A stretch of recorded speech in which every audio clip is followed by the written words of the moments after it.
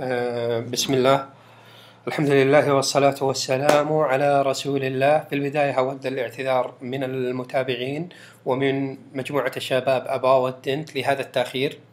آه، مع أني وعدتم أن تكون المحاضرات متتالية ولكن للأسف الشديد آه، لم تسمح لي الظروف ولكن سأستمر معكم حسب الإمكانات والظروف بإذن الله تعالى. اليوم سنكمل ما بدأنا في المحاضرتين السابقتين. كما تذكرون في المحاضرتين السابقتين تكلمنا عن ال descriptive studies تكلمنا عن ال experimental. اليوم بإذن الله سنتكلم عن ال observational آه، طبعا ال observational آه، لها ثلاثة أنواع. ال cohort studies ال case control ال cross sectional ستجدون تشابه في المسميات بينها وبين ال descriptive لكن بإذن الله في الوقت المناسب سنشرح هذا الفرق. آه، طبعا في البداية دعونا نتكلم عن الهدف الرئيسي من ال observational studies. تمام؟ الهدف الرئيسي أو الغرض الرئيسي من ال observational studies هو اكتشاف أو دراسة العلاقة بين متغيرين. نذكر على سبيل المثال وهو أفضل مثال يعني يمكن ذكره العلاقة بين سرطان الرئة، الإصابة بسرطان الرئة والتدخين. العلاقة بين سرطان الرئة والتدخين. عندنا متغيرين المتغير الأول سرطان الرئة المتغير الثاني هو التدخين. طبعا من مزايا ال observational study أنها لا تتعارض مع أخلاقيات البحث فمن السهل جدا الحصول على شهادة أخلاقيات بحث من دون أي تعقيد. كما أن بعض ال journals إذا كانت دراستك من هذا النوع لا تتطلب أخلاقيات بحث. آه نذكر آه على سبيل المثال تحدي لأخلاقيات البحث في هذا الموضوع آه، موضوع التدخين على سبيل المثال علاقة التدخين بسرطان الرئة. لا يمكن أنك تأتي بعينة دراسة آه، ثم تطلب منهم آه، التدخين لمدة 20 عام لأشخاص غير مدخنين لأن هذا يتعارض مع أخلاقيات البحث. ومن المستحيل أن تحصل على شهادة أخلاقيات بحث إذا كان طلبك من عينة الدراسة هذا هو الطلب هذا. طبعا آه، مثل ما ذكرنا في البداية أن ال observational study لها ثلاثة أنواع.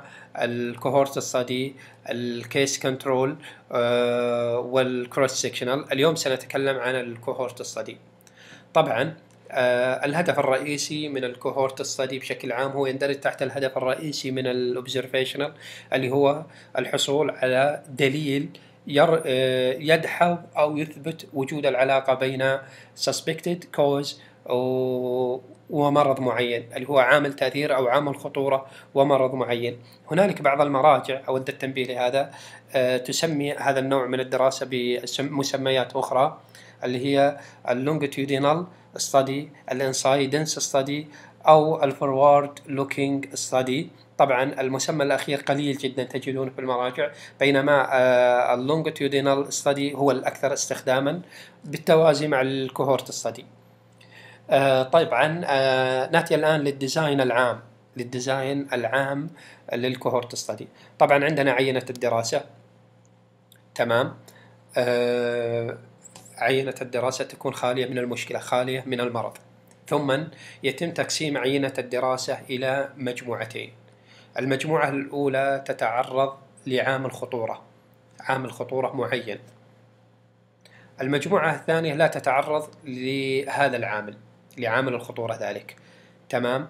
بعد فترة معينة من الزمن تكلم in future. تمام؟ أو آه ال end line بيكون عندنا هذا هو ال baseline وهذا هو ال end line تمام؟ في ال end line نقوم بالمقارنة بين المجموعتين. المجموعة الأولى التي تعرضت لعامل الخطورة ال risk factor.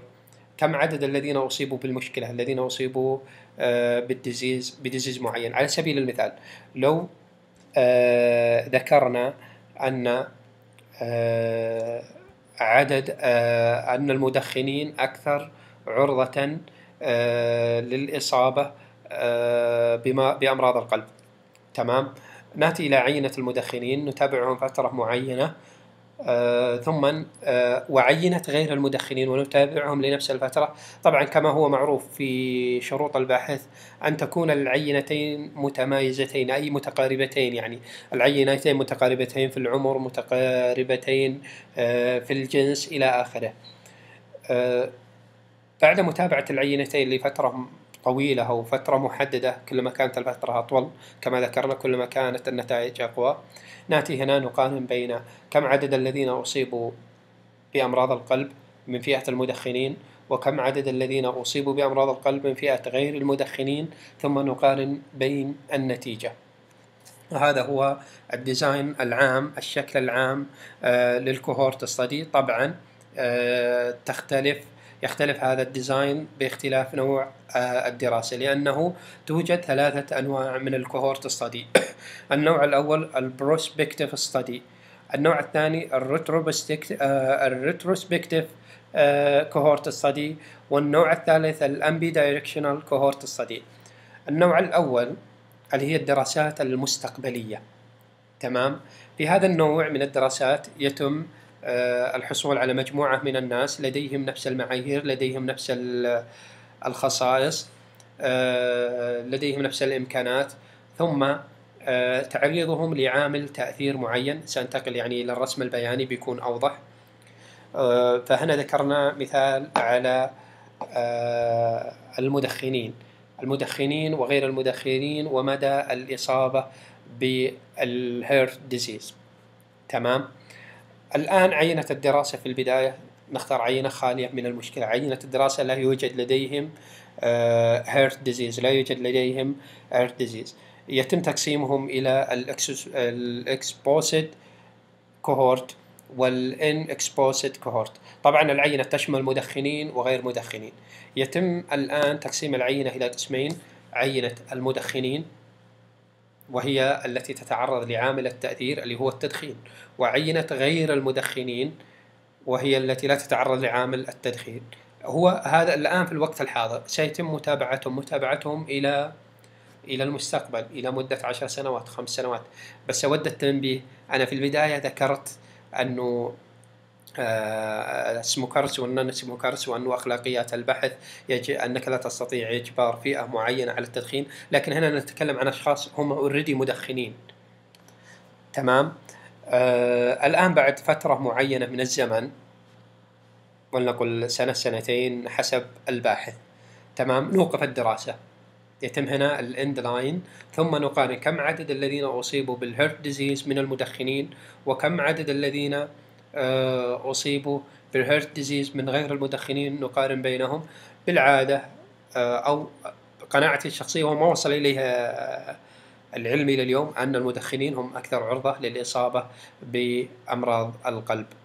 آه، أما غير المدخنين فهم أقل عرضة. هنالك دراسات ربما أنه أذكرها لكم في المراجع تشير إلى ذلك. هذا مثال الآن للدراسات المستقبلية. اللي تسمى ال prospective cohort study نأتي الآن إلى نفس المثال ولكن retrospective cohort study نفس المثال مثال التدخين لكن آه، من نوع ال retrospective cohort study طبعا من عيوب هذه الدراسة أو ليست عيوب إن صح التعبير بقدر ما هي مشكلات هذه الدراسة. أنها تحتاج إلى وقت طويل تأخذ وقت طويل. النوع الثاني منطقيا إذا وقت الدراسة إذا الدراسة تحتاج إلى وقت طويل فهي تحتاج إلى تكاليف مالية أكثر. النوع الثالث missing of study subject. بعض عينة الدراسة سينسحب أو سيتوفى أو إلى آخره. فتتعرض الدراسة إلى آه، انسحاب من من عينة الدراسة. آه، طبعا الآن ال retrospective cohort study هو النوع الثاني ولكنها دراسات تعتمد على الماضي. Investigator uh, investigator goes back to the past to select a study group from existing record of the past employment.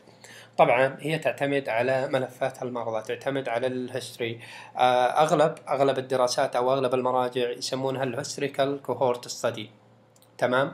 الآن suppose that we begin our study in association between smoking habit and lung cancer in 2008 تمام؟ آه، في عام 2008 آه، سندرس العلاقة بين التدخين والإصابة بسرطان الرئة. نفس المثال السابق ولكن الآن بطريقة مقلوبة إن صح التعبير.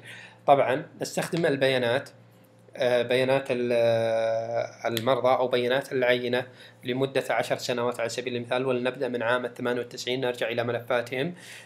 يتم تقسيمهم إلى فئتين فئة المدخنين وفئة غير المدخنين ثم نصل في النتيجة كم عدد الذين أصيبوا؟ آه، أصيبوا بسرطان الرئة من المدخنين وكم عدد الذين لم يصابوا بسرطان الرئة؟ الذين أصيبوا بسرطان الرئة من غير المدخنين.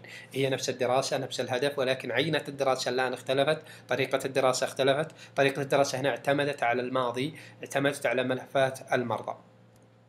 الآن ننتقل إلى النوع التالي آه، أو النوع الثالث هو ال ambidirectional cohort study هو نفس المثال آه، نفس الدراسة لكنها تعتمد على الماضي وعلى المستقبل.